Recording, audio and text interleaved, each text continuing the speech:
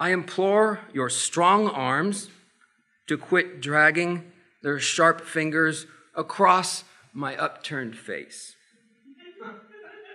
Will the Maenad who commanded these genitals to be rent please stand?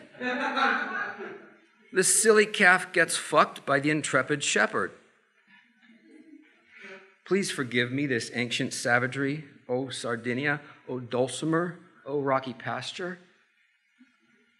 The countryside taps me on the shoulder as if to say, You're just another obsessed translator of the Greeks.